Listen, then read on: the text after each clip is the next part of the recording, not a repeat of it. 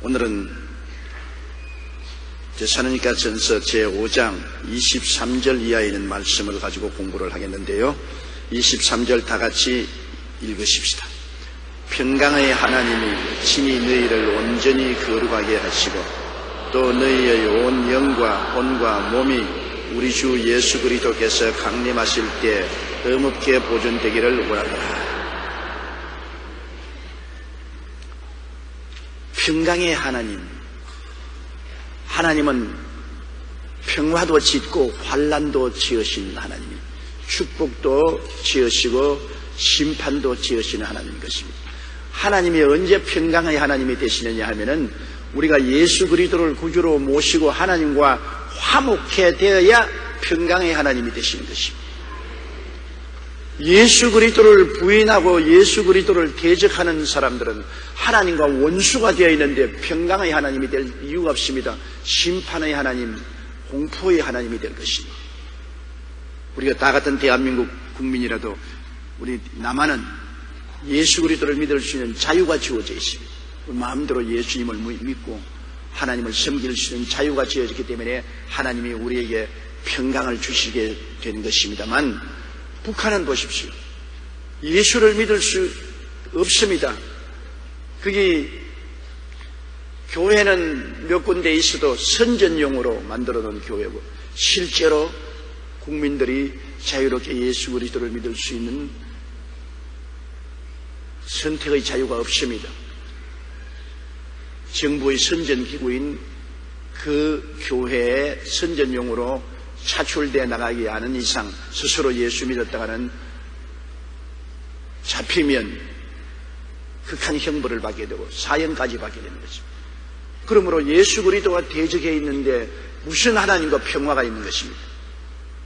하나님의 모든 역사는 예수 그리스도를 통해서만 이루어지는 것입니다.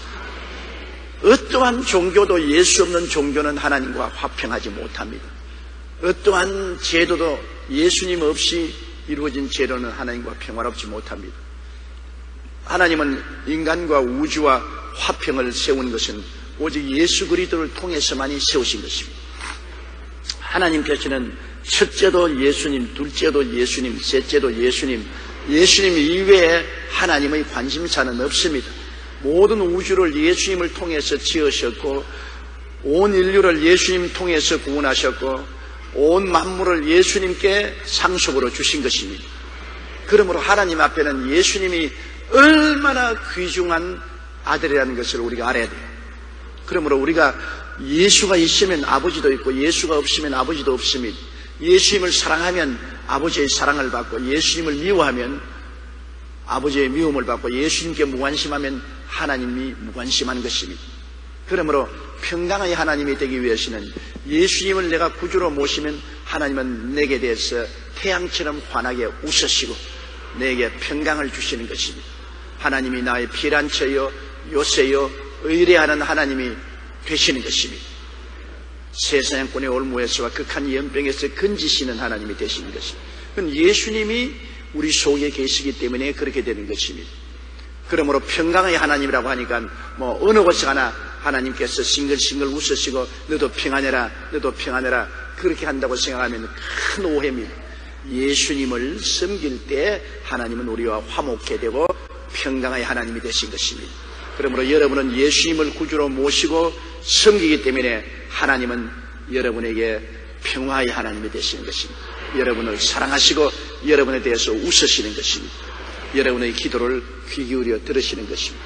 원수가 되실 때야 주님께서 기도를 받아들이지 않고 거역하시죠. 그러므로 바울 선생 대사로니까 교회에 평강의 하나님이 친히 너희를 온전히 거룩하게 하시기를 기도하는 것입니다. 여러분 거룩하다는 것은 인간 속에는 거룩성이 없습니다. 거룩은 하나님의 성품인 것입니다. 하나님이 계시면 거룩하고 하나님이 떠나면 아무리 장엄한 장식을 하고 촛불을 켜고 거룩한 옷을 입어도 거룩하지 않습니다. 모세가 시내산 광야에서 호랩산 광야에서 불타는 가시능쿨을 발견했습니다. 그건 그냥 바위 투성이의 산이요. 바위 산인 것입니다.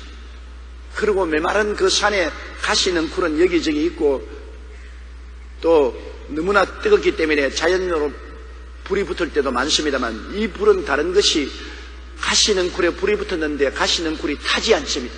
불만 활활 탔지 가시는 굴은 그대로 있어서 모세가 하도 기이해서 그것을 구경하러 가니까 그 가시는 굴 불, 불길 속에서 하나님의 음성이 들려왔습니다. 모세야 모세야 너가 선땅한 거룩하니 신발을 벗어라. 그 땅이 전에부터 거룩한 땅은 아닙니다. 그냥 바위산이요 돌산입니다. 평범한 호랩산 모래 언덕인 것입니다. 그런데 왜 모세가 선 땅이 거룩합니까? 가시는 불, 불길 가운데 하나님이 임하여 계시기 때문에 거룩하게 된 것입니다. 하나님이 계신 곳은 다 거룩한 것입니다.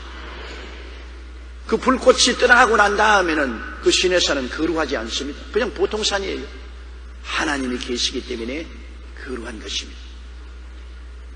왜 장미꽃 향기가 납니까? 장미꽃이 있기 때문에 향기가 나는 것이지 장미꽃이 떠나면 향기는 사라지는 것입니다. 하나님이 계시는 거룩하고 하나님이 떠나가시면 거룩하지 않습니다. 여러분 우리 교회가 왜 거룩한 교회입니까? 예배 드릴 때 하나님이 와 계시기 때문에 거룩한 교회가 되는 거죠. 현재 이 교회는 거룩한 교회입니다. 왜냐하면 하나님이 이 자리에 임재하여 계시기 때문인 것입니다. 그러므로 거룩한 교회에 우리가 오는데 어떻게 하겠습니까? 교회에 그냥 샌달 신고 와가지고서 예배 시간에 앉아서 뜸을 하나님에 대한 모독입니다. 거룩한 하나님께 나오는데 왜 샌달 신고 나옵니까? 하나님을 모르는 얘기입니까? 여러분이 대통령 초청받았을 때 샌달 신고 뜸을 짝짝 씹으면서 대통령 국무로 갑니까? 인간 대통령이 초청해도 최고의 신발을 신고 최고의 옷을 입고 어, 몸을 지장해서 가지 않아요. 교회는 그냥 모인 일반 모임이 아닙니다. 하나님이 와 계신 거룩한 곳입니다. 그러므로 우리 마음도 거룩하게 단장을 하고 우리 신발도 샌달 신지 말고 옷도 정하게 입고 몸매무새를 차리고 가야 되는 것입니다. 아니 뭐 교회 가서 읽었는데 평안하고 자유롭게 그것은 하나님의 거룩성을 모르고 하는 소리인 것입니다. 일반 집회는 마음대로 가도 겠다. 일반 집회는 빨가벗고 가도 말할 사람 없어요. 그러나 하나님 앞에는 그럴 수가 없죠. 하나님은 거룩하고 장엄하시기 때문에 모세는 하나님 앞에서 신발 벗으라 그랬습니다. 신발 신고 하나님 앞에 뵐 수 없다고 그랬습니다. 그럴 정도로 하나님은 거룩하시기 때문에 우리가 교회에서 격식을 차리는 이유는 거룩한 하나님 앞에 나가기 때문에 격식을 차리는 것입니다. 뭐 그렇지 않을 바에 격식 차릴 필요가 없죠. 뭐 요사이 현대 판 목사님들은 샌달 신고 넥타이 안 매고 반소매 가지고 청바지 신 입고 강단에 서서 설교하는데 현대적으로 보일지 모르겠습니다. 사람들에게는 젊어 보이고 좋을지 모르겠습니다. 그러나 그것은 강단은 거룩한 하나님이 계신 곳입니다. 몸서리칩니다. 하나님 앞에 그렇게 나갈 수가 있어요? 천지와 만물을 주신 하나님 앞에 그대로 못 나가요. 하나님 앞에 나가면 적어도 최선을 다해서 몸단장을 하고 나가야죠. 그래야 하나님이 우리를 평안하게 영접해 줄 수 있는 것입니다. 그러므로 하나님이 우리를 거룩하게 하신다는 것은 하나님이 우리에게 성령 충만하게 해주시는 것을 말합니다. 성령이 충만해야 우리가 거룩해져요. 생각과 말과 행동이 거룩해지지 성령이 오시지 않고는 아무리 인간적인 노력을 해도 거룩해지지 않아요. 찬물에 목욕하고 뭐 금식하고 철야해도 성령이 계시지 않은 곳에는 거룩함이 없습니다. 평강의 하나님이 친히 너희를 온전히 거룩하게 하시기 위해서는 주님께서 성령 충만을 해 주시기를 기도하는 것입니다. 성령이 충만하면 성령께서 우리를 거룩하게 만들어 주시는 것입니다. 또 너희를 온 영과 혼과 몸이 우리 주 예수 그리스도에게서 강림하실 때 흠없게 보존되기를 원하노라. 여기에 바울 선생은 우리 영과 혼과 몸이 예수님 강림하실 때까지 보존되기를 원한다고 했습니다. 우리 사람을 영과 혼과 몸 삼위일체로 표현하고 있는 것입니다. 우리의 영이 있는 것 여러분 쉽게 체험할 수 있습니다. 왜냐하면 여러분 죽은 사람에게 가서 이야기해 보세요. 죽은 사람에게 가서 아무리 다정히 이름을 불러도 대답하지 않지 않습니까? 죽은 사람에게 가서 아무리 과거의 공적을 칭찬해도 웃지도 않지요. 죽은 사람 보고 욕을 하고 삿대질하고 발로 차도 반응하지 않습니다. 죽은 사람은 죽었기 때문에 관계가 끊어지고 대화가 안 되는 것입니다. 그러면 영이 죽은 사람이 어떤 사람입니까? 여러분, 영이 죽은 사람에게 가서 하나님 아버지와 예수님에 대한 이야기를 해보십시오. 무관심합니다. 왜냐하면 대화가 안 되는 것이니까 하나님과 예수님에 대해서 아무런 관심이 없습니다. 영이 죽었기 때문에 반응이 없지요. 하나님에 대한 찬양을 해도 반응이 없고 하나님에 대해서 부정적인 말을 해도 반응이 없습니다. 하나님과의 관계가 끊어진 것입니다. 영은 무엇입니까? 영은 하나님을 모시고 있는 그릇입니다. 그런데 영이 살아나면 여러분 하나님 아버지와 예수님의 말을 하면 가슴이 뛰지요. 관심이 기울어지지요. 할렐루야가 나오지요. 아멘이 나오고 찬송이 나오고 기도가 나오지요.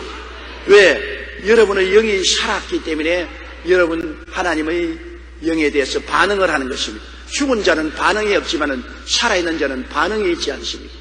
여러분은 영이 살았기 때문에 하나님에 대한 반응이 있습니다. 신문을 보더라도 하나님 글자만 나도 눈이 번쩍 뜨입니다. 그리고 어느 곳에 가더라도 하나님에 대한 이야기를 하면 귀가 기울어지는 것입니다. 왜 반응을 하느냐? 영이 살았기 때문에 영의 일에 대해서 반응을 가지게 되는 것입니다. 그러므로 내가 영이 있는 것을 알 수 있는 것은 내 속에서 우리 주 예수 그리스도의 사랑을 느낄 수가 있고 하나님을 감사하고 예배 드릴 수가 있고 성경을 읽을 때 감동이 되고 설교 들을 때 감동이 오는 이러한 여러 가지 것을 반응을 볼 때 아 내 속에 영이 있구나. 그러나 한 가족이라도 안 믿는 남편 성경 무관심합니다. 안 믿는 자녀들에게 성경 읽으라면 그냥 책상 집어넣어 버리고만 예배 드리자면 안 믿는 남편 안 나옵니다. 안 믿는 자녀들 예배 드리러 안 나옵니다. 무관심합니다. 그냥 무관심할 정도가 아니고 적대 감정을 가집니다. 왜 저런 필요 없는 짓을 하느냐? 하나님이 어디에 있느냐? 그저 사람이 살다가 죽으면 그뿐이지. 그것은 하나님에 대해서 전혀 반응이 없고 무식한 것은 하나님을 모시는 곳이 영인데 영이 죽어 있기 때문에 그런 것입니다. 영이 죽어 있는 사람이 여러분 살아나는 길은 인간의 힘으로 안 됩니다. 하나님이 성령으로 살려주어야 그래서 택하여야 구원받는다는 것은 하나님이 그 사람을 택해서 살리려고 성령을 보내셔서 깨워 일으켜야 살아나는 것입니다. 에베소 2장에 죄와 허물로 죽은 우리를 그리스도와 함께 살리셨다고 했는데 죽은 자는 스스로 못 살아나요. 죽은 자가 가만히 죽어 있다가 어 깨어난다. 그런 것 없어요. 죽은 자는 스스로 못 살아나요. 나사로가 죽어서 무덤에 들어가 나알에 되어 썩은 냄새가 날 때 스스로 걸어 나왔나요? 예수님이 나사로야 나오라고 말씀하셨음에 살아서 걸어 나온 것입니다. 오늘날도 죽은 영혼을 예수님이 살아나오라고 말씀을 하셔야 살아나오는 것입니다. 예수님이 살아나오라고 말씀하시기 위해서는 우리가 죽은 영혼을 위해서 많은 대속 기도를 하고 주님께 부탁을 해야 주님께서 그 마음에 감화 감동을 주셔야 변화를 받아요. 아, 그럴 때 주님이 불러주시면 살아나면 하나님이 그 속에 들어오게 되고 하나님을 깨닫게 되고 믿게 되고 예배되게 되면 완전히 달라지죠. 전에는 그렇게 하나님이 없다 그러고 반발하고 무신론적인 행동을 하는 사람이 예수를 구주로 모시고 난 다음에는 그렇게 하나님을 증명하고 하나님을 섬기고 예배를 드리도록 변화되어 버린 것입니다. 이 변화의 역사는 예수님이 불러주셔야 되는 것입니다. 아버지께서 내게 오게 하지 않았으면 내게 올 자가 없다고 말한 것입니다. 너가 나를 택한 것이 아니라 내가 너희를 택하여 세웠다고 말한 것입니다. 여러분 다 오늘 예수 믿게 된 것은 주님이 여러분 보고 불러내 주셨기 때문에 예수 믿게 된 것입니다. 안 그러면 영이 죽었죠. 영이 죽은 사람들 오늘 이 교회에 나옵니까? 안 나옵니다. 예수 안 믿는 사람 오늘 수요일날 교회 갔다 나와 보십시오. 몸부림을 치고 못 견디지. 아무리 강단에서 좋은 설교도 귀에 하나도 안 들어옵니다. 반응이 없어요. 왜? 반응할 수 있는 영이 죽어 있는데 죽은 사람이 무슨 반응을 합니까? 그러므로 내 속에 영이 있느냐 없느냐는 것은 그 예수 그리스도 아버지 하나님에 대한 반응이 있느냐 없느냐가 내 영을 증명할 수 있는 것입니다. 영은 하나님을 모시는 그릇이 바로 영인 것입니다. 아담과 하와가 범죄하자 말자 영이 죽었습니다. 그러자 하나님과의 교통이 끊어져 버리고 마는 것입니다. 하나님과 교통이 끊어졌으니 하나님 계신 에덴에서 쫓겨나올 수밖에 없습니다. 그때로부터 시작해서 인류는 하나님 없이 살았습니다. 왜 하나님 모시는 그릇인 영이 죽었기 때문에 하나님 없이 살 수밖에 없죠. 우리가 예수를 믿고 성령이 와서 우리 영을 살려주면 이제는 깨어서 하나님을 섬기게 되고 성령이 충만하게 되면 더욱 하나님을 뜨겁게 섬기고 모시고 사랑하게 되는 것입니다. 사람마다 다 영이 있지만은 죽은 영과 살한 영이 다릅니다. 여러분은 영이 살았고 다른 사람들은 영이 죽어 있습니다. 이러므로 죽은 영을 깨우치는 유일한 길은 맹렬히 기도하는 길밖에 없습니다. 우리의 기도를 통해서 주님이 그 죽은 영을 불러 주셔야지요. 아무리 인간적으로 전도한다고 해서 전도가 효과를 발생하지 않습니다. 죽은 사람에게 아무리 전도해야 된다고 죽은 사람이 듣습니까? 기도를 많이 해야 되는 것입니다. 영혼 구원을 위해서 우리가 기도회를 하고 부르짖어 기도하고 그래서 우리 주 예수님이 그 죽은 영혼을 불러주시도록 해야 되는 것입니다. 오늘날 주의 부르심을 받고 영혼이 살아난 여러분은 얼마나 큰 행복인지 모릅니다. 왜냐하면 이 세상 것 다 가져봤자 일정한 시일이 지나면 다 없어지죠.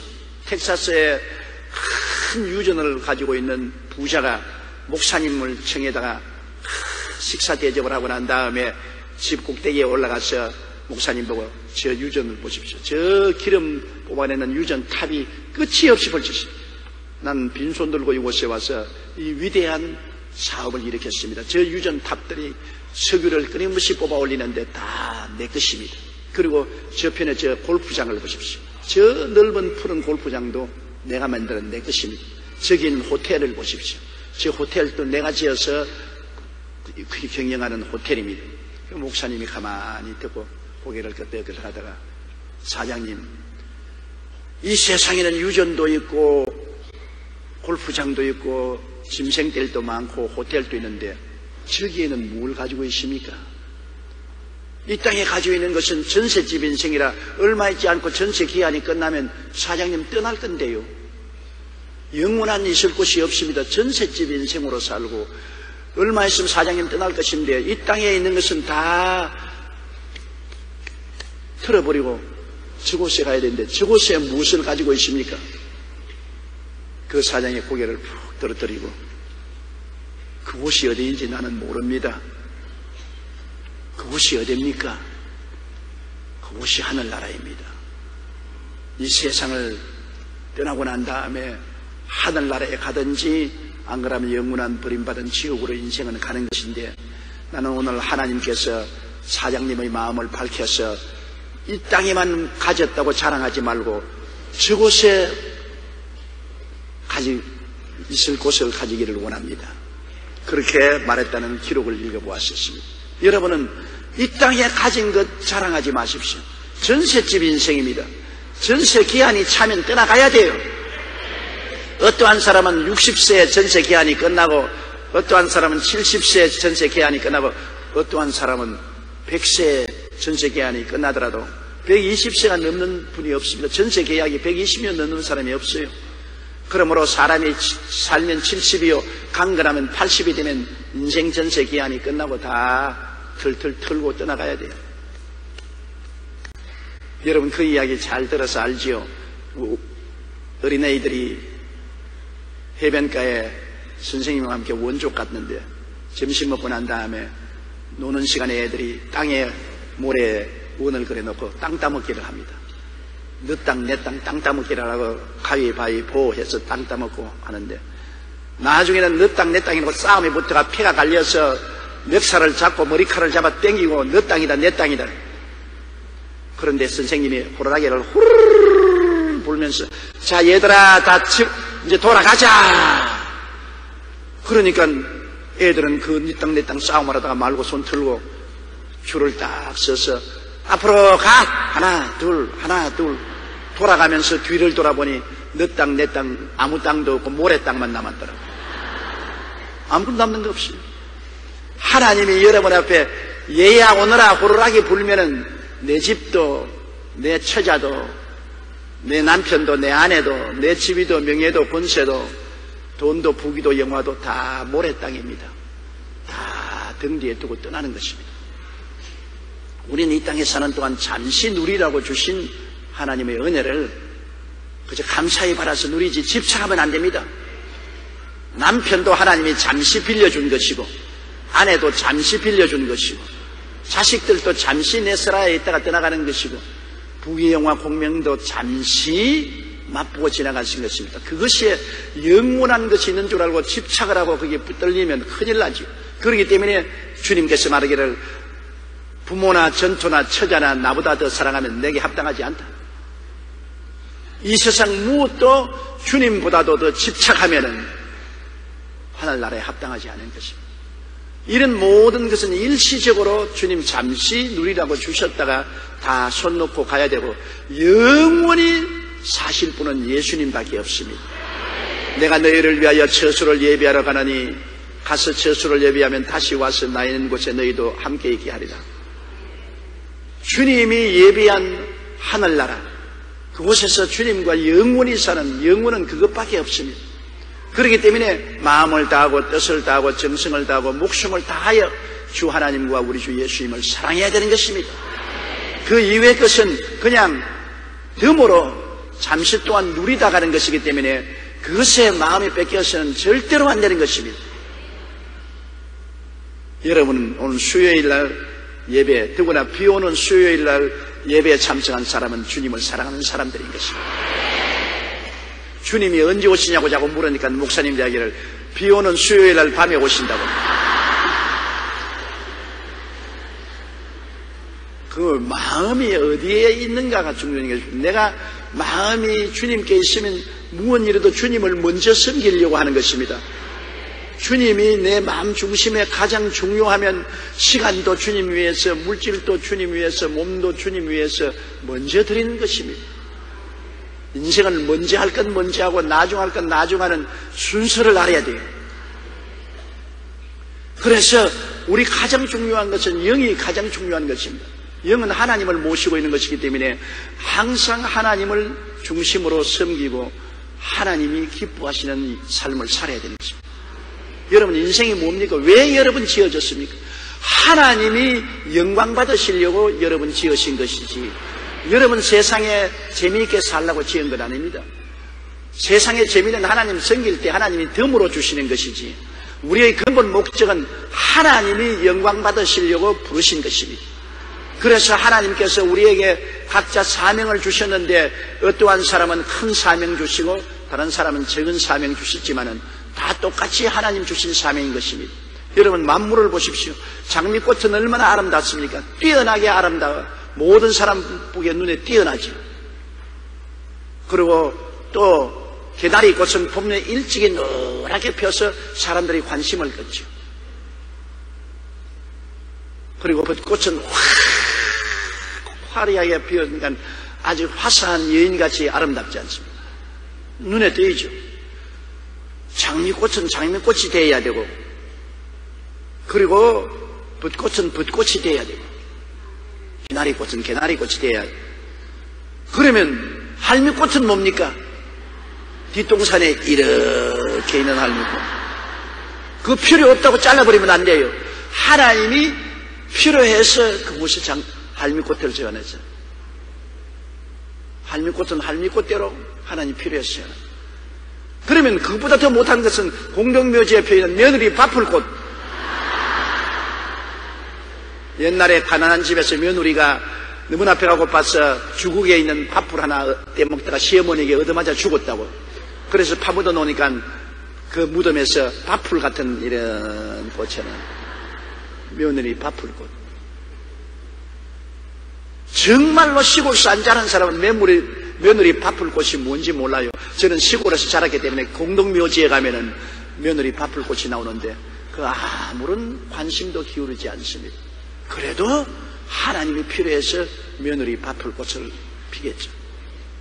이 세상에 살면서 모든 사람에게 눈에 띄는 화려한 장미꽃 같은 사람도 있고 개나리꽃 같은 사람도 있고 화사한 저 벚꽃 같은 사람도 있고 그렇지 않으면 뒷동산에 있는 할미꽃 같은 사람도 있고 아무도 몰라준 며느리 밥풀꽃 같은 사람도 있고 그러나 모두 다 하나님 영광을 위해서 지음을 받았습니다. 나는 왜 이 모양으로 지음을 받았냐고 탄식할 필요 없습니다. 문제는 우리가 하나님을 섬기기 때문에 하나님이 만들어 놓으신 그 자리에서 하나님을 섬기면 되는 것입니다. 화려하다고 좋은 것도 아니고 화려하지 않다고 못한 것도 아닙니다. 가장 중요한 것은 하나님이신 것입니다. 우리 인생의 가장 중요한 것은 하나님인 것입니다. 하나님을 섬기기 위해서 지음을 바라기 때문에 어떤 위치에 있든지 여러분 하나님 섬기면 돼요. 여러분 여의도 순복음교회 조목사가 안 되었다고 아이가 내 같은 사람 예수 믿어봤자 무슨 소용이 있느냐 그러면 안 되지요. 조목사는 목사로서 하나님 섬겨야 됩니다.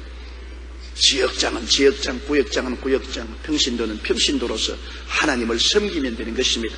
내 위치에서 마음과 뜻과 정성을 다하여 하나님을 섬기면 하나님 그에 대해서 기뻐하시고 즐거워하시는 것입니다. 내 뜻대로 살지 말고 하나님 섬기면서 살. 우리의 삶 전체가 하나님을 섬기기 위해서 산다는 것 잊어서는 안 되는 것입니다. 우리는 누구든지 섬겨야 돼요. 그런데 하나님을 섬긴다는 것은 내 영으로 사는 사람 말하는 것입니다. 그 다음 혼이란 뭡니까? 혼이라는 것은 자기 자신을 말하는 것입니다. 자기 마음을 말하는 것입니다. 혼은 자기의 지식과 감정과 의지를 잡아놓은 자의식을 담는 것이 혼인 것입니다. 혼이 나간 사람은 멍하니 네가 누구냐? 어디서 왔어? 집주소가 어디냐? 혼이 나갔군. 혼이 나갔어. 그렇게 말합니다. 혼은 자의식을 말합니다. 혼이 있어야 자기를 알아요. 자기의 지식과 감정과 의지를 가진 혼입니다. 이 혼이 인간으로 하여금 이 세상 사람을 살게 하지요. 그런데 영이 죽은 사람은 혼만 살아있어가지고서 자기만 살아있어요. 이제 하나님은 담는 그릇이 죽었으니까 혼은 자기를 담는 그릇이니까 자기만 살아있어요. 자기가 하나님인 것입니다. 무엇인지 자기 생각대로, 자기 뜻대로, 자기 원하는 대로 행하고 자기가 하나님인 것입니다. 오늘날 세상 사람들은 영이 죽어서 하나님이 떠나버리고 하나님을 모시는 그릇이 죽었기 때문에 영이 죽었기 때문에 혼으로 살지요. 그러므로 전부 인간 중심으로 인본주의로 삽니다. 내가 내가 내가 내가 예수 믿는 사람도 혼이 있지만 혼이 깨어져서 영에 순복하는 사람이겠습니다. 내 혼이 깨어져서 영에 있는 하나님께 혼이 순복하는 사람이 예수 믿는 사람이겠습니다. 혼이 깨어지지 아니하며 하나님하고 대결하면 안 되는 것이죠. 아직 신앙이 자라지 않은 사람은 예수 믿고 영이 살았음에도 불구하고 혼이 아직 고집을 부르고 하나님과 실험을 잡고 합니다. 야곱이 야복강에서 천사와 실험하듯이 하나님이 이렇게 하라면 안 하려고 하고 가자면 안 가겠고 오라면 안 오려고 하고 혼이 자꾸 하나님과 실험을 합니다. 그 실험을 하면 하나님이 어떻게 줍니까? 혼을 깨는 유일한 길은 혼을 내주면 됩니다. 아주 혼이 강한 사람은 하나님이 혼을 내줘요, 그냥. 내리 때려서 환두뼈가 어그러지게 하고 아유 눈이 툭 튀어나가게 혼이 나면은 깨어지지 손을 들지 혼을 내줘야 되는 것입니다. 혼이 강하면 신령한 생활을 하지 못해요. 하나님의 뜻대로 살지 못하고 자기 고집대로 살아요. 혼은 자기니까, 혼은 자기니까 자기 고집대로 살아요. 그러므로 하나님 뜻 대신 자꾸 여러분 고집대로 하고 싶으면 혼이 살아있다는 것을 알아야 됩니다. 그러나 혼이 깨어진 사람은 아버지여 살든지 죽든지 흥하든지 망하든지 성하든지 쎄하든지 주의 뜻대로 하시옵소서. 나는 언제나 죽어도 좋습니다. 주님 뜻대로 하시옵소서. 하나님의 뜻을 받들어 사는 혼하고 하나님 없이 자기 인간 중심으로 사는 혼하고는 천양지 차가 있는 것입니다. 여러분은 혼은 혼이지만은 하나님께 순복하는 깨어진 혼, 자아를 주님께 깨뜨린 혼인 것입니다.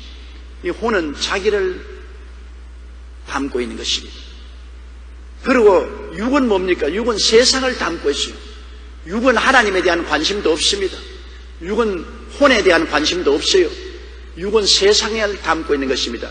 보고 듣고 냄새 맡고 맛보고 느끼고 육체적인 요구, 탐욕과 정욕, 먹고 싶다, 식욕, 성욕, 이성과 만나고 싶다, 성욕, 명예욕, 내가 사람들에게 명예를 많이 받고 싶다. 그 다음 권세욕, 돈도 지위도 명예도 권세도 갖고 싶다.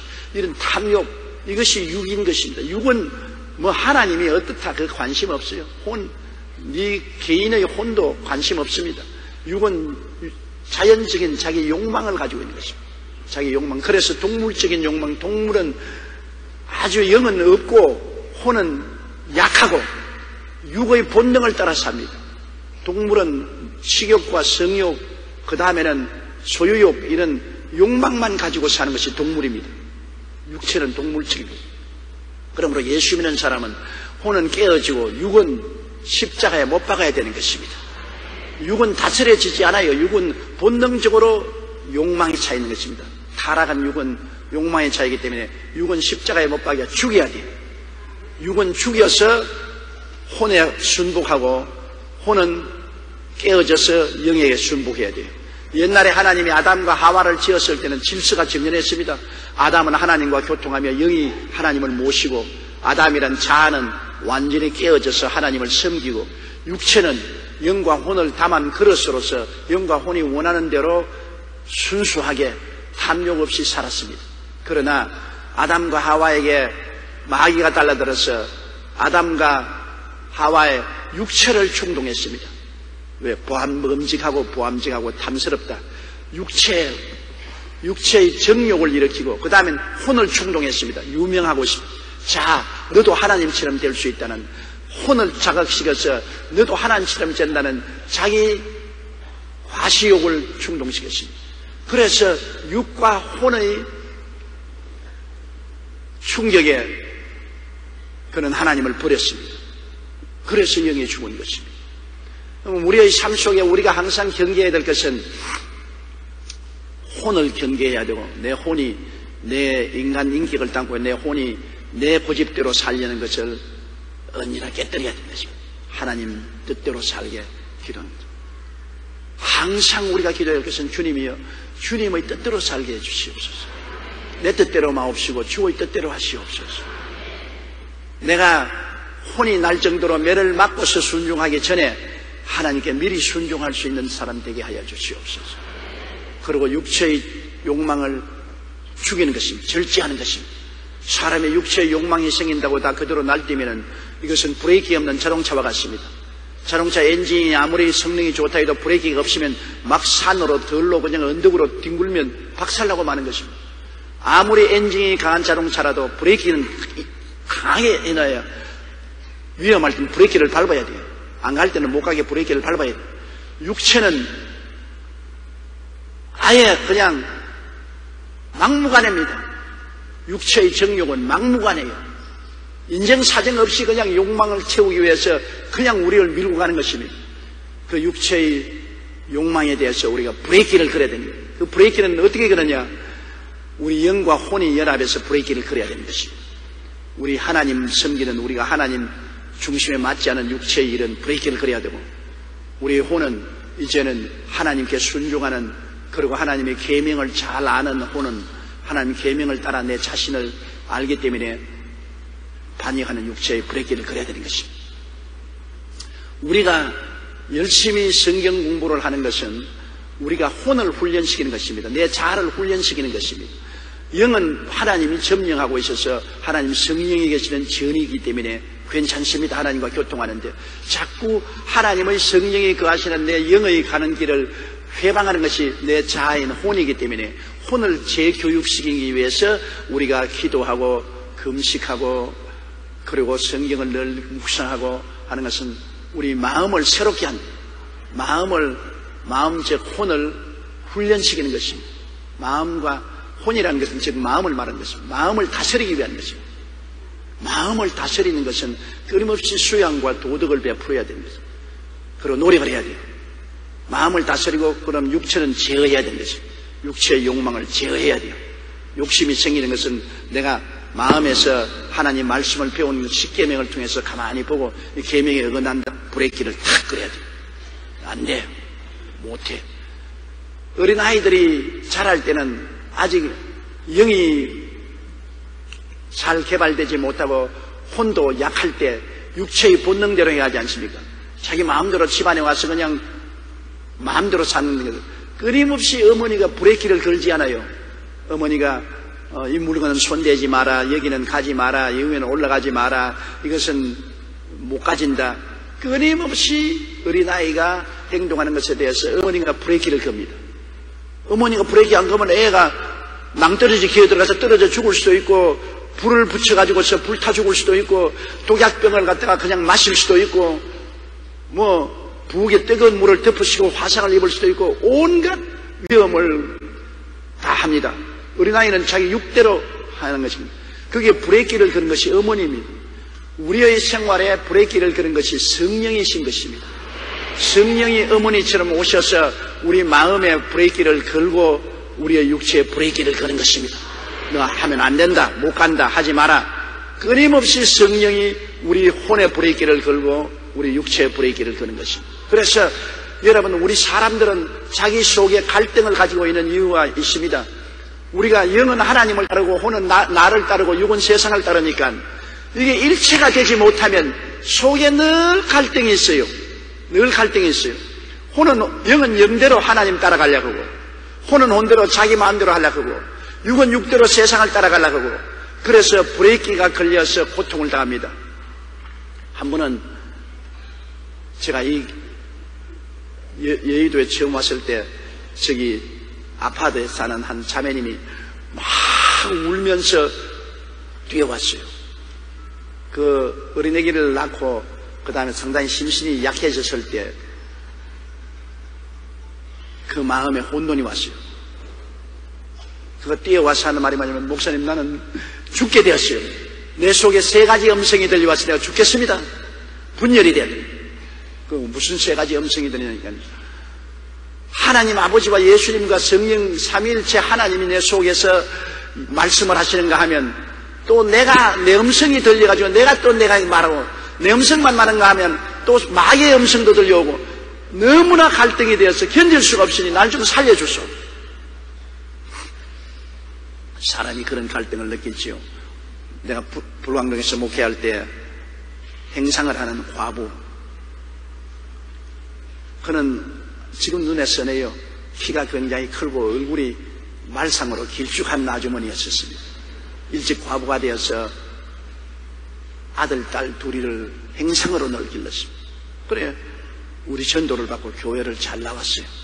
열심히 예수님을 믿고 그저 찬송도 많이 하고 제가 설교하면 앞에 앉아가 아멘, 아멘. 지금 눈에서 선합니다. 그렇게 주님을 잘 믿고 기뻐하더니만 하루는 얼굴이 시무룩하게 해가지고서 이 장사하는 바구니를 머리에 이고서 날 만나러 왔어요. 그래, 어떻게 오셨습니까? 그러니까, 나 이제 그만 믿을래요. 아니, 그만 믿다니요. 나 말이요, 예수 믿기 전에는 마음이 편안했는데, 예수 믿고 난 다음 평안한 게 아니라 너무나 고통스럽다. 나 이제 늙어서 아들, 딸 시집 장가다 보내고 난 다음, 그때 믿을래요. 아니, 왜 그런 소리 합니까? 아들, 딸 시집 가기 전에 주님 모시면 어떻게 할래요? 그래도 나는 못 믿겠어요. 난 너무나 괴로워요. 왜 괴롭습니까? 예수 믿기 전에는 나는 물건을 떼서 팔 때 거짓말하고 팔았어요.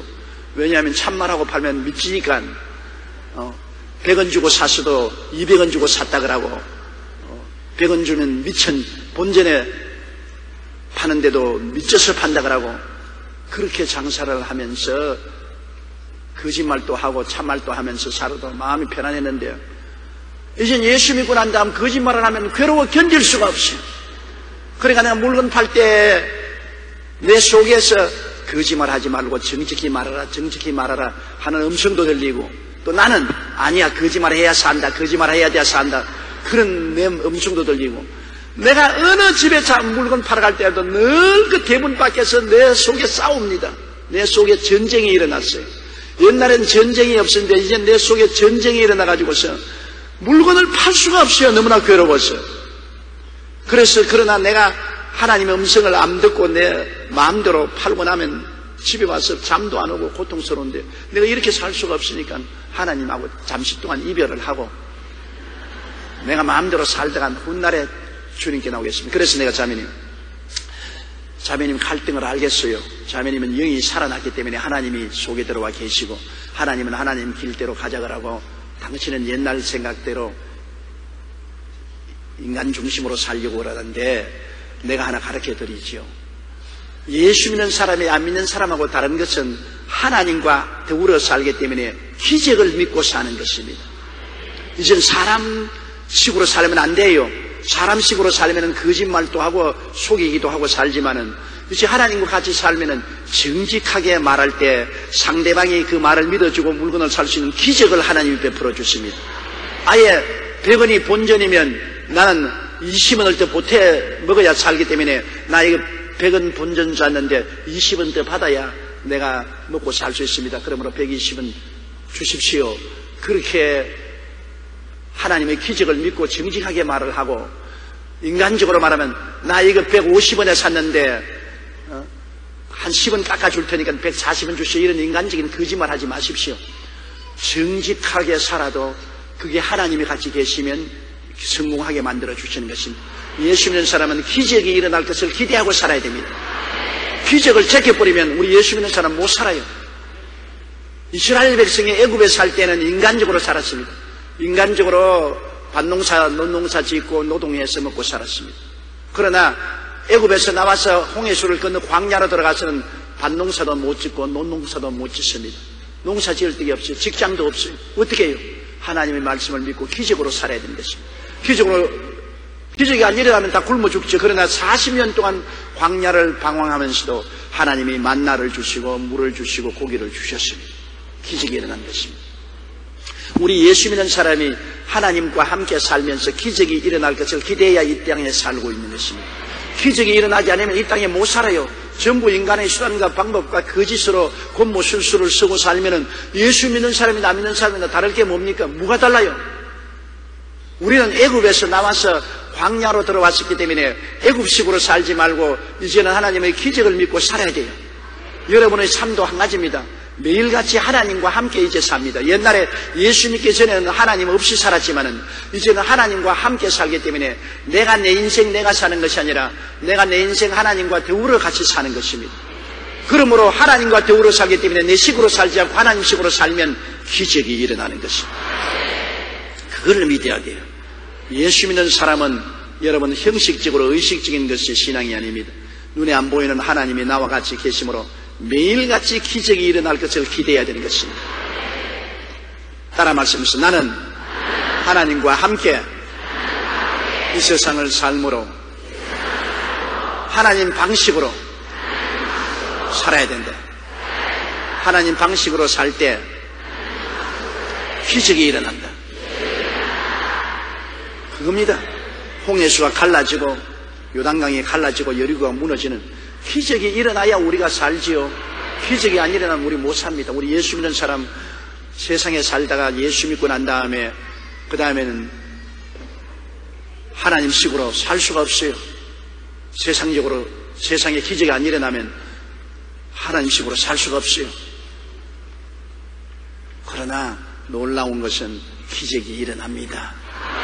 하나님이 우리와 같이 계셔서 우리와 함께 계심으로 우리가 하나님대로 하나님 말씀대로 살면은 기적이 일어나요. 그래서 내가 그, 분에게 말했습니다.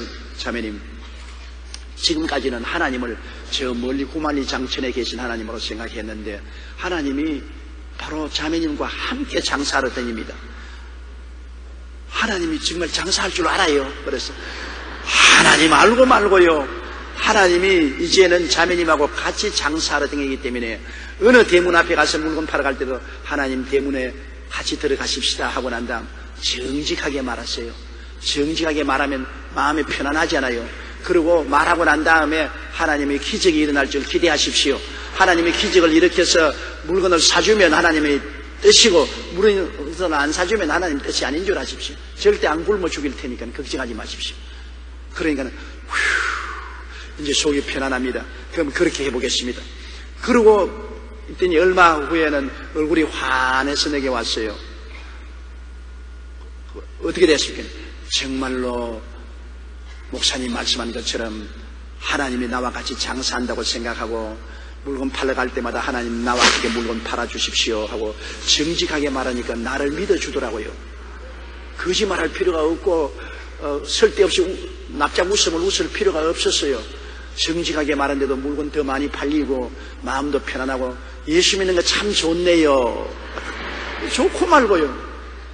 그래 장사 잘해서 자녀들 잘 교육시켜서 딸도 미국으로 시집 보내고 아들도 미국 가서 살고 훗날에 이제 미국으로 이민 가가지고서 오늘날 미국에서 살고 있어요. 지금은 할머니가 되었지만은.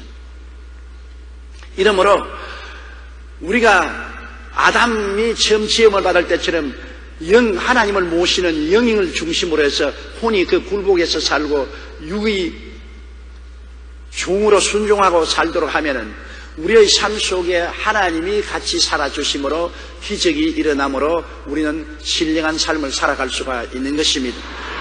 어, 예수 믿고 못 산다. 그것은 잘못 알아서 그런 것입니다. 교회에서만 예수 믿고 밖에 나가면 세상으로 살아야지 밖에 나와서 교회식으로 못 산다. 그 사람은 하나님을 잘못 알은 것입니다. 교회 안에서만 계시는 하나님이 아니시고 바깥 세상에도 함께 하시는 하나님이신 것입니다. 하나님은 교회 안에서만 역사하는 것이 아니라 바깥 세상의 나의 삶에서도 기적으로 역사하시는 것입니다. 하나님을 믿고 역사해 보세요. 어, 하나님을 믿고 역사해 보면 하나님이 그 다른 표적으로 말씀을 확실히 증거해 주시는 것입니다. 이러므로 우리의 제일 생활에 중요한 것은 우리 영이 가장 중요하고 그 다음에는 영에 복종하는 내 자아, 내 나를 섬기는 나를 담고 있는 혼을 내가 늘 교육을 찍어서 혼이 새로워지고 마음이 새로워져서 영을 순종하게 만들고 육체는 우리 종으로 부려야 됩니다. 육체에 따라가면 안 돼요. 육체는 영혼의 요구대로 순종하는 종으로 만들어야 되는 것입니다. 육체는 그냥 우리가 타고 다니는 자동차와 같아요. 종으로 부려야지 육체를 따라가면 안 되는 것입니다. 이러므로 우리가 갈등을 해소하려면 영이 언제나 강하게 하나님 성령으로 충만하고 우리 마음을 언제나 하나님께 순복하도록 훈련을 시키면 갈등이 줄어지는 것입니다. 그러나 인간이 이 세상에 살 동안에 구원받은 사람은 끝없이 마음속에 늘 갈등이 있습니다. 구원 안 받은 사람은 지 멋대로 사니까 갈등이 없어요. 뭐지 마음이 원하는 대로 육체가 원하는 대로 그냥 마음대로 삽니다. 사람처럼 안 살고 돼지처럼 살기도 하고 뭐 그러고도 뭐 난 모르겠다 뭐 책임 안 지는 것입니다. 그렇기 때문에 갈등을 안 느끼고 살려고 애를 씁니다만 예수 믿는 사람은 끊임없이 마음에 갈등이 있습니다. 늘 죄책감이 있습니다. 하나님 잘 못 섬기는 죄책감이 있고 내 고집대로 산 죄책감이 있고 육체를 따라 죄책감이 있기 때문에 늘 회개하지요. 예수 믿기 전에는 회개를 안 하더니 예수 믿고 난 다음 늘 회개한다 그렇게 비난하는 사람이 있습니다. 예수 믿기 전에는 뭐 온통 사는 게 다 죄덩어리인데 뭐 회개할 것도 없어요. 전부 죄덩어리인데 그러나 예수 믿고 난 다음에는 하나님을 섬기고 끊임없이 내가 내 중심으로 살고 육체를 따라 산 그 갈등을 하나님 앞에 용서를 구하고 다스리는 것이기 때문에 항상 회개가 필요하지요. 그러므로 예수 믿고 평안하면서도 안 편안하고 기쁘면서도 안 기쁘고 좋으면서도 안 좋고 그래요. 뭐 항상 늘 평안합니다. 늘 기쁩니다. 거짓말입니다. 그건 그렇게 꾸며대지 실제는 안 그래요. 항상 완전한 사람이 없지 않습니까? 완전히 영으로 살고 완전히 하나님께 순복한 깨어진 혼으로 살고 완전히 육체를 전복한 사람으로 산다면 완전히 평안하고 기쁘지요. 그렇지가 않고 완전한 사람이 없지 않아요. 항상 몸부림을 치는 것입니다. 항상 영의 목걸이를 하나님이 잡고 계신데 그게 안 따라가려고 이런데 목이 안 아플 때가 어디 있어요? 밤낮으로 깽깽깽깽깽깽 그러나 우리가 이 길이 참 길인 것을 알기 때문에 내가 영이 살고 영이 하나님을 섬기고 내 마음인 혼을 깨뜨려서 순복하고 육체를 정복해야 되는 이것이 사는 길인 줄 알았기 때문에 이 길로 살아야 돼요. 그 길을 살기 위해서 노력하고 애쓰는 가운데 갈등도 있고 죄책도 있고 고통도 있지만은 그러나 그런 것을 통해서 사는 것이 우리 신앙생활인 것입니다.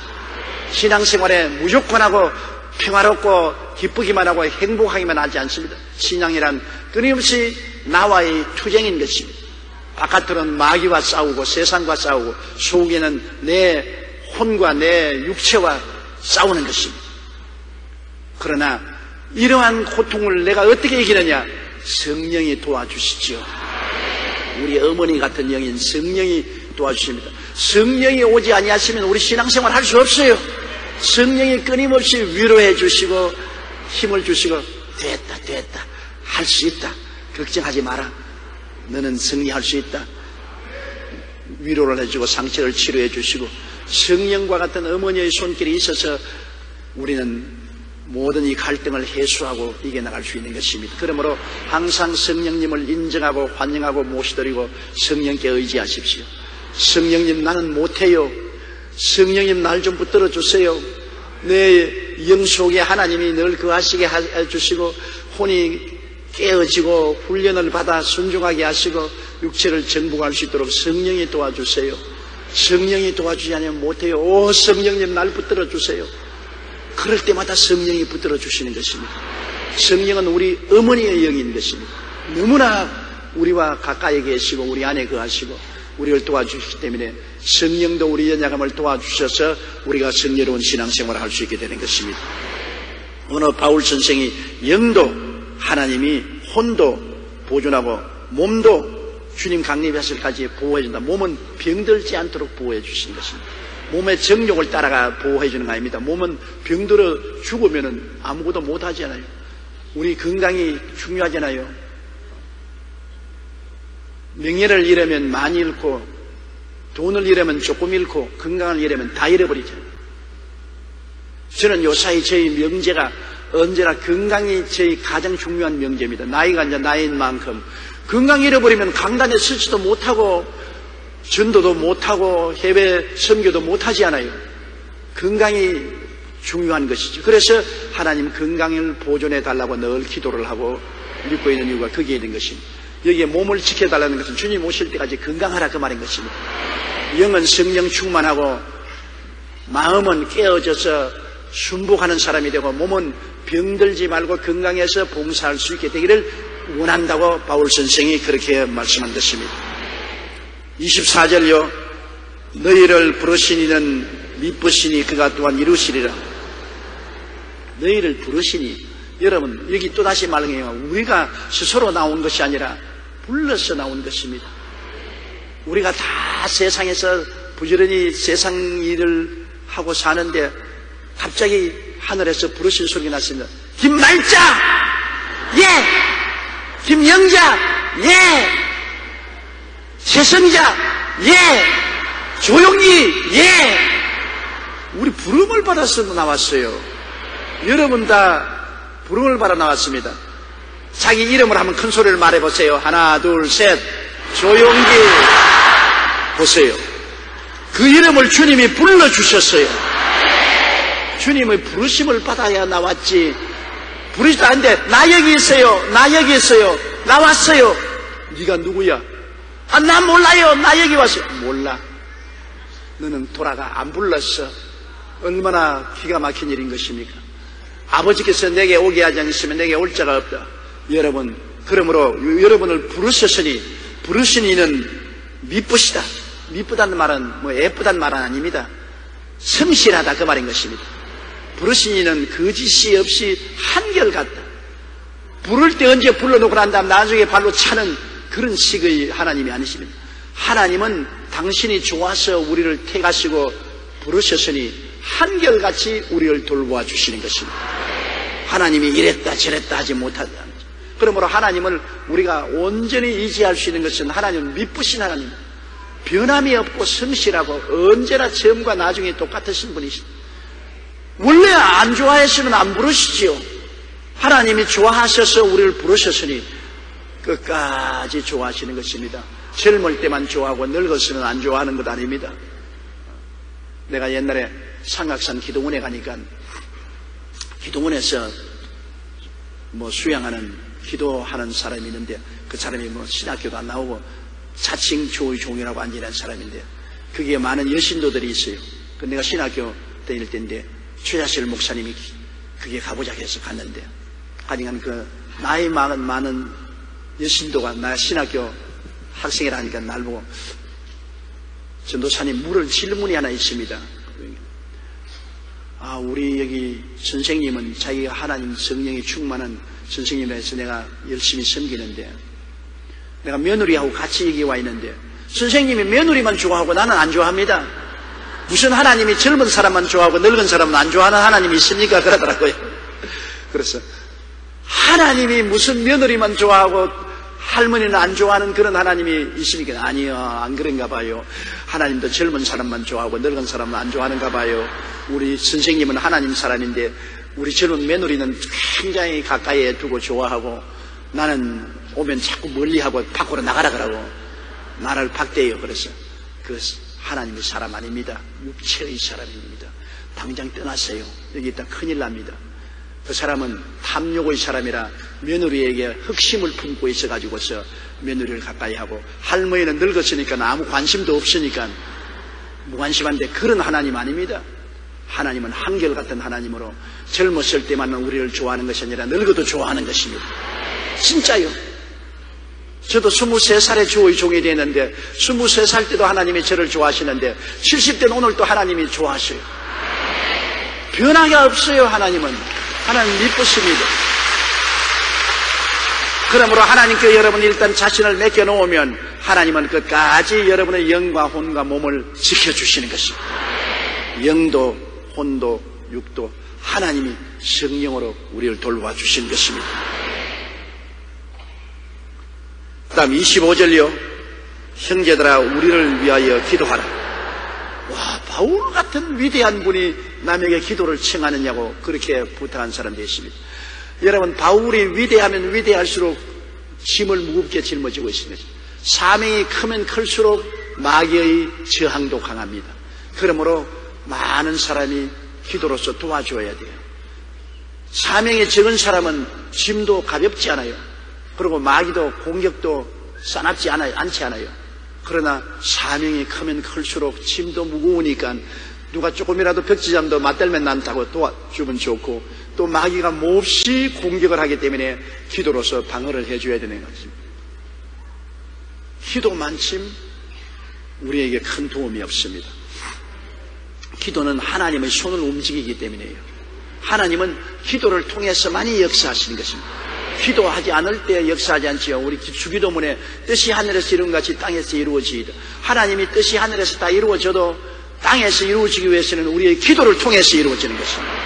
그래서 기도하라는 것입니다. 하나님이 남편이나 자식들을 축복해 주시고 싶어도 아내가 기도를 해야 축복을 해 주시죠. 기도를 해야. 또 남편이 기도를 해야 아내와 자식들을 축복해 주죠. 기도하는 것은 힘이 들거든요. 하기 싫어요. 저도 기도하기 싫어요. 48년간 목회한 저도 기도가 힘이 들어서 하기 싫어요. 왜? 기도라는 것은 마귀의 저항이 있기 때문에 굉장히 힘이 들어요. 어느 정도 기도해서 마귀의 저항을 뚫고 나면은 그 다음에는 하나님 앞에 기도하기가 쉬워지고 기뻐지는데 처음 기도할 때처럼 즐겁고 기쁘지 않아요. 기도는 힘쓰고 애써야 되는 노동인 것입니다.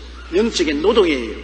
그러므로 나는 기도하기가 싫습니다. 기도하기가 힘듭니다. 마땅한 일이죠. 노동이니까. 누구든지 무거운 짐지기를 원하는 사람 누가 있어요? 기도는 무거운 짐을 걸머지는 것입니다. 그 짐을 걸머지고서 기도를 해야 문제가 해결될 수 있는 것입니다.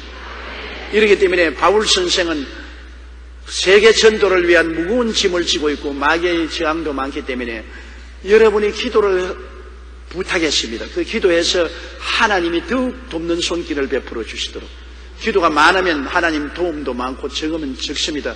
여러분 물 저수지에 파이프를 적은 파이프를 떼놓으면 물이 적게 나오고 큰 파이프를 떼놓으면 물이 많이 나오지 않습니까? 기도비는 하나님과 우리 사이에 걸쳐놓은 파이프와 같은 것입니다. 그러므로 기도를 하는 것 굉장히 중요해요. 저는 제가 48년간 목회에 올 수 있는 것은 성도들의 기도 덕분으로 왔습니다. 성도들이 저 위해서 기도를 안 해주는 사람도 많지만 해주는 사람도 많거든. 많은 사람들이 안 해줘요. 그러나 또 많은 사람이 해줘요. 그런데 그 기도의 덕분으로 제가 지금 살아있는 것입니다.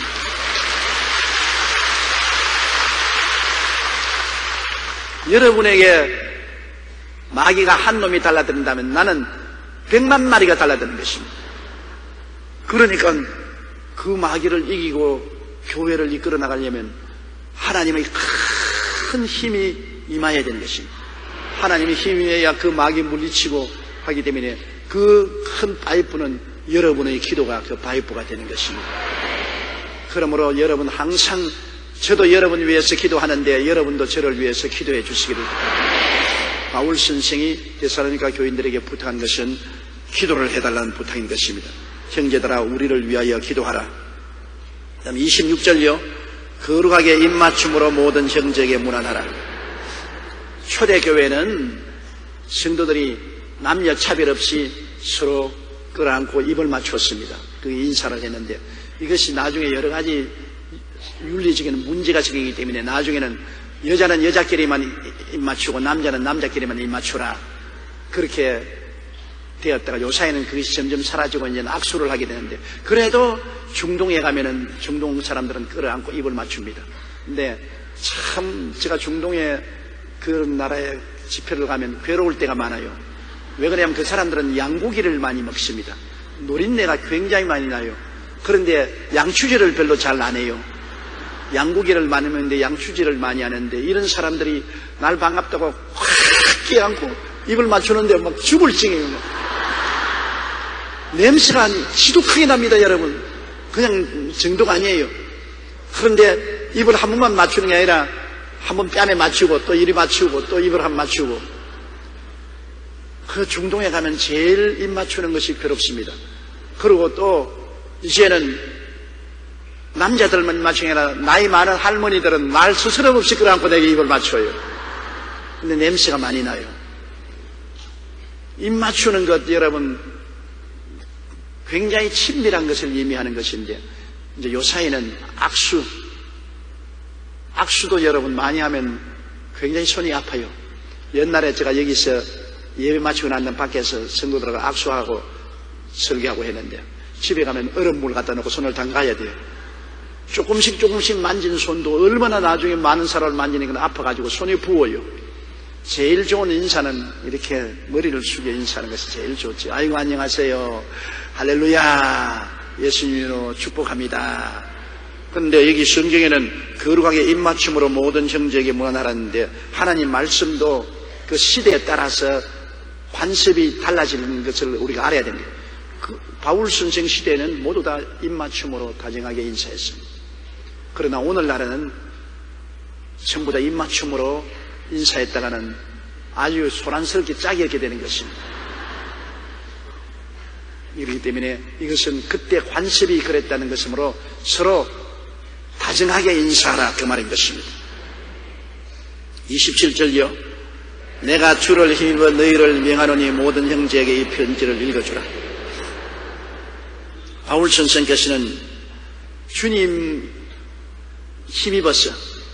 왜냐하면 이 편지가 내 편지가 아니고 성령님의 도움으로 내가 편지를 썼기 때문에 주님의 백으로 너에게 명한다는 것입니다. 내 편지 같으면 모든 사람이 읽을 필요가 없는데 주님이 내게 계시로 주신 편지이기 때문에 내가 주님을 힘입어서 너에게 명령을 내린다. 주님은 모든 사람을 사랑하니까 이 편지를 너희들 한두 사람만 읽지 말고 모든 사람이 다 읽게. 그때 바울 선생이 적은 편지가 이 바울 선생의 뜻을 따라서 오늘 온 천하에 모든 사람이 편지를 읽지 않아요. 여러분과 저도 이 대사로니까 전설을 공부하면서 이 편지를 읽지 않아요. 하나님의 말씀은 개인적으로 한 말씀이 아닌 것입니다. 하나님의 말씀은 성령으로 감동된 사람들이 기록한 책인 것입니다. 하나님의 성령께서 직접 편지를 쓰지 않잖아요. 사람을 통해서 편지를 쓰고 오늘날 또 하나님 성령께서 주의 종의 입술을 통해서 말씀하시는 것입니다. 그러므로 성경은 성령으로 감동된 선지자들이나 왕들이나 제사장들이나 사도들이 쓴 편지요 그린 것입니다. 그를 통해서 우리가 하나님을 만나게 되는 것입니다. 이렇기 때문에 바울 선생이 쓴 이 편지는 바울 선생의 글이 아닙니다. 하나님이 바울이라는 그릇을 통해서 우리에게 전달해 진 하나님의 말씀이므로 하나님께서 바울을 통해서 명령하신 것이 모든 사람을 읽게 하라. 여러분 하나님 말씀은 끊임없이 읽어야 돼요. 우리는 건망증이 심해서 곧장 잊어버리는 것입니다. 하루 밥 먹고 난 다음 한 달 동안 그 밥이 효과를 발생하지 않아요. 밥은 하루에 세 번 먹어야 돼요. 아침 먹고 또 점심 때 먹고 또 저녁 때 먹어야 돼요. 그와 같이 말씀도 한 번 들었다고 효과를 발생하는 건 아닙니다. 계속 먹어야 돼요. 계속. 그러므로 일독 성경을 매일 가지고 읽는 것 참 좋습니다. 성경은 읽기가 거북스러우면 일독 성경은 매일마다 날짜가 정해져 있기 때문에 일독 성경을 매일매일 읽음으로써 우리 영적 양식을 삼을 수 있는 것입니다. 28절요. 우리 주 예수 그리스도의 은혜가 너희에게 있을지어다. 이 말을 등한히 생각이 납니다. 은혜라는 말은 여러분 무조건 하고 선물로 주시는 것이 은혜인 것입니다. 은혜라는 것은 내가 자격이 있어서 받는 것이 아니라 나는 아무 자격도 없는데 나에게 공짜로 주는 것입니다. 이 선물을 받을 자격이 있는 것도 아니고 공로가 있는 것도 아니고 힘이 있는 것도 아닙니다. 무조건 하고 선물을 받는 우리 주 예수 그리스도의 은혜입니다. 다른 은혜가 아닙니다. 예수님이 십자가에 못 박여서 몸을 찢고 피를 흘려서 우리 죄를 다 갚, 우리의 죄속을 갚고 질병을 갚고 저주를 청산하고 죽음과 음부를 청산한 것은 예수님이 엄청난 고생을 한 것입니다. 수고도 수고도 그런 수고가 없어요. 하나님의 아들이 사람이 되어 오셔서 이 엄청난 인간의 짐을 걸머지고 주님이 몸을 찢고 피를 흘려서 죄를 갚고 세속과 추악을 갚고 질병을 청산하고 저주를 청산하고 사망과 음부를 청산하고 주님께서 내가 다 이루었다 하고 사흘 만에 부활했는데 이 큰 역사를 주님께서 우리에게 은혜로 주신다. 그것은 선물로 주신다는 것입니다. 선물은 그냥 받는 것이지요. 선물은 내가 자격이 있어 받는 것이 아니라 주니까 그냥 받는 것이죠. 주님이 공짜로 우리에게 선물로 주신다. 그러면 어떻게 할 것이냐? 오직 믿기만 하면 되는 것입니다. 기독교 신앙의 위대한 점은 그것인 것입니다. 우리로 말미암은 것도 아니요, 우리의 공로로 말미암은 것도 아니요, 오직 믿음으로 선물로 구원을 받는 것입니다. 그러므로 우리가 천당을 갈 희망이 있지요. 우리의 힘과 능력으로 가라면 갈 도리가 없어요. 여러분, 돈 주고 햇빛을 비추라면 이 세상에 햇빛을 받을 사람 아무도 없어요. 햇빛 안 비치고는 못 살잖아요. 햇빛이 너무나 너무나 값비싸기 때문에 돈 못 줘요. 그러므로 공짜죠. 공짜. 공기를 돈 주고 숨 쉰다면 여러분 살아남을 사람 아무도 없죠. 지금도 여러분은 엄청난 공기를 숨 쉬었어요. 지금도 쉬고 있어요. 그러면서도 돈 내려고 생각은 하나도 안 해요. 우리 여의도 순복음 교회에 들어와서 숨쉰 여러분, 쉰 공기만큼 내게 돈 내놔요. 돈 못 내지 않아요. 엄청나게 값이 비쌉니다, 공기가. 그러므로 그냥 공짜로 숨 쉬는 거예요, 공짜로. 물도 그래요. 물도 가공한 가, 격만 내지 물 자체는 공짜예요. 물도 그냥 가공한 가공비만 내고 우리 물을 마시고 부모의 사랑도 그렇잖아요. 어머니가 열 달 동안 뱃속에 무겁게 싣고 다니고 그 다음에는 태어나고도 3년 동안은 끊임없이 어머니를 떠나서는 살수 없습니다. 3년 동안은 그저 어머니 젖꼭지 물고 어머니 무릎에서 살아야지 떠나서는 못 살잖아요. 그런 것을 돈으로 다 환산하면 끝이 없잖아요. 나는 가끔 가다가 내게 와서 이런 말 한 사람입니다. 나는 우리 부모에게 받은 것 아무것도 없어요. 그러므로 부모에 대한 아무런 애정도 없어요. 그런 말 합니다. 그럼 내가 널 때라고 말은 아버지에게는 안 받아도 좋다. 아버지에게는 특별히 아버지가 너를 해준 것이 없고 상속을 해준 건 없다 하지만 어머니는 그렇지 않다. 어머니는 당신을 열 달 동안 뱃속에 싣고 다녔다. 그러고 난 다음에 태어나서 3년 동안은 순간도 어머니 떠나서는 못 산다. 어머니가 모든 시간과 물질을 희생해서 너를 돌봐줘서 살았는데 그 공로만 해도 태산 같다. 그런데 뭘 아무나 안 해줬다고 무슨 소리 하느냐. 그런 소리 하지 마라 그랬는데. 어머니 사랑 여러분 돈으로 갚을 수 있습니까? 못 갚지요. 그저 은혜로 그저 공짜로 너무 비싸니까 공짜로 그냥 부모님의 은혜라고 해서 공짜로 받아들이는 것입니다.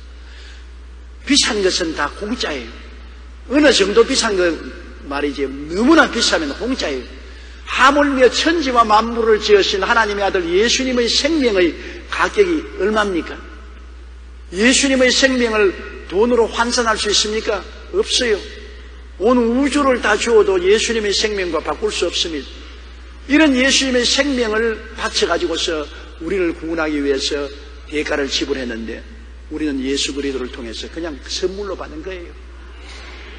용서와 의도 선물로 받고 거룩함과 성령 충만도 선물로 받고 치료와 건강도 선물로 받고 아브라함의 축복과 형통도 선물로 받고 부활 영생 천국도 선물로 받는 거예요. 그러므로 예수 믿는 기독교가 너무나 위대한 것은 이렇게 공짜로 구원을 받는 믿음의 길은 없습니다. 다른 어떤 종교도 여러분 믿음으로 말미암아 구원을 얻는 것은 없어요. 오직 믿기만 하면 하나님 성령이 와서 우리를 길러 주시는 것입니다. 그러므로 예수 그리스도의 은혜, 우리는 모두 다 예수 그리스도의 은혜 때문에 구원을 받는 것이죠. 내 노력으로 구원받는 것은 아닙니다. 그리스도의 은혜로 말미암아 성령이 오셔서 어머니가 돌봐주시 돌봐줘서 천국까지 가게 되는 것입니다. 할렐루야!